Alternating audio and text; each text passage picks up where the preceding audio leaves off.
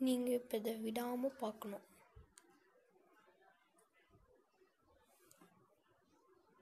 ஃபஸ்ட்லேருந்தே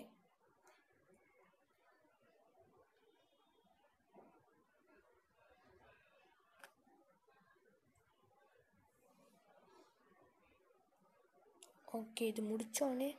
நீங்கள் கையை இல்லை வேறு ஏதாவது திங்க பாருங்கள் அப்புறம் எப்படி இருக்குன்னு கமெண்ட் பண்ணுங்கள்